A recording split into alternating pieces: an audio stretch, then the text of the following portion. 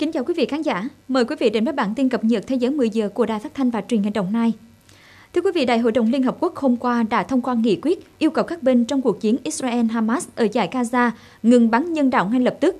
Nghị quyết được thông qua sau khi hơn 3 phần tư thành viên Đại hội đồng bỏ phiếu thuận. Trong khi Mỹ cùng với Israel và 8 quốc gia khác bỏ phiếu chống, 23 nước bỏ phiếu trắng, 153 thành viên Đại hội đồng Liên Hợp Quốc đã bỏ phiếu thuận thông qua nghị quyết yêu cầu ngừng bắn tại giải Gaza. Đặc phái viên Palestine tại Liên Hợp Quốc Riyad Mansour nói rằng việc các thành viên Hội đồng Bảo an thông qua nghị quyết là đỉnh cao của tình cảm quốc tế dành cho người Palestine, ông nói. Nhiệm vụ của chúng tôi là tiếp tục đi trên con đường này cho đến khi hành vi tấn công chống lại người dân của chúng tôi chấm dứt. Israel đã tấn công Gaza kể từ ngày 7 tháng 10. Cơ quan y tế ở Gaza cho biết, tính đến nay các cuộc tấn công đã khiến hơn 18.000 người Palestine thiệt mạng. Lực lượng Houthi ở Yemen hôm qua phát đi cảnh báo các tàu chở hàng ở Biển Đỏ tránh đi về phía các vùng lãnh thổ mà lực lượng này gọi là bị chiếm đóng của Palestine. Trong một thông điệp đăng trên mạng xã hội X, ông Mohammed Ali Al-Houthi, người đứng đầu Ủy ban cách mạng tối cao Houthi cho biết các tàu không nên hướng tới vùng lãnh thổ của người Palestine. Bên cạnh đó, khi đi qua vùng biển của Yemen, các tàu nên bật radio và nhanh chóng hồi đáp các hoạt động liên lạc của Houthi. Ông Al-Houthi đồng thời cảnh báo các tàu không được treo cờ của nước khác với nước mà chủ tàu mang quốc tịch. Trước đó, Houthi cho biết lực lượng này đã tấn công tàu chở dầu Strinda của Na Uy khi con tàu này vận chuyển dầu thô đến một nhà ga của Israel. Tổng thống Ukraine Volodymyr Zelensky hôm qua đã có cuộc gặp trực tiếp với Tổng thống Mỹ Joe Biden và các nhà lập pháp nước này nhằm kêu gọi viện trợ nhiều hơn cho Kiev.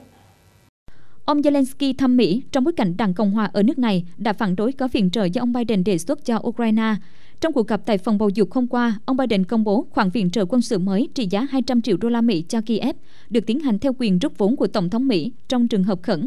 Đáp lại, ông Zelensky nói, Kiev đang nỗ lực để ít phụ thuộc hơn vào viện trợ và quân đội Ukraine đủ mạnh để giành chiến thắng trong cuộc chiến.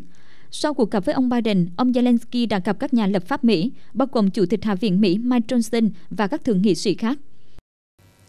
Hôm qua, các thành viên Hạ viện Anh đã bỏ phiếu thông qua dự luật khẩn cấp do chính phủ của Thủ tướng Rishi Sunak đưa ra. Dự luật này sẽ bảo đảm tính hợp pháp của đạo luật, cho phép nước Anh đưa những người xin tị nạn đến Wanda. 313 nghị viện của đảng bảo thủ cùng 269 nghị viện của các đảng khác trong Hạ viện, gồm 650 ghế, đã ủng hộ dự luật an toàn của Wanda. Dự luật này được viết ra nhằm giải tỏa những nỗi lo ngại Tòa án tối cao Vương quốc Anh đưa ra vào tháng trước. Qua đó, bảo đảm tính hợp pháp của việc đưa người tị nạn từ Anh đến Wanda. Kế hoạch đưa người tị nạn từ Anh đến Wanda được chính phủ Anh đưa ra nhằm đối phó với tình trạng số lượng người di cư đến Anh qua eo biển mang của Pháp ngày càng tăng. Chính phủ của Thủ tướng Ba Lan Donald Tusk hôm qua đã vượt qua cuộc bỏ phiếu tín nhiệm tại Quốc hội nước này. Theo kết quả kiểm phiếu, chính phủ Ba Lan đã vượt qua cuộc bỏ phiếu với 248 phiếu thuận và 201 phiếu chống. Trước đó cùng ngày, tân Thủ tướng Ba Lan Donald Tusk đã trình lên Hạ viện nước này danh sách nội các mới do ông đứng đầu. Theo danh sách, lãnh đạo đảng Nhân dân Ba Lan, ông Kosiniak Kamis giữ vị trí phó thủ tướng kiêm bộ trưởng quốc phòng.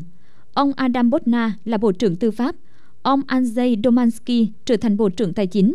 Ông Marcin Kiowinski sẽ đảm nhận chức Bộ trưởng Nội vụ, trong khi ông Radoslav Sikorski một lần nữa giữ chức Ngoại trưởng.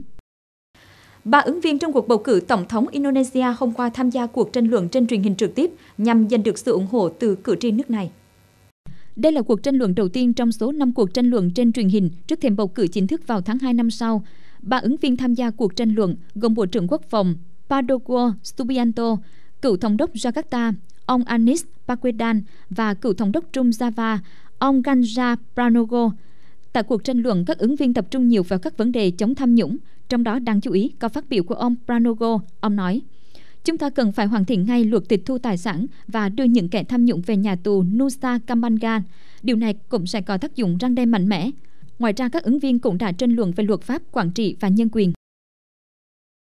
Quý vị khán giả vừa đến với bản tin cập nhật Thế giới 10 giờ của Đài Phát thanh và Truyền hình Đồng Nai. Thân ái chào tạm biệt và hẹn gặp lại.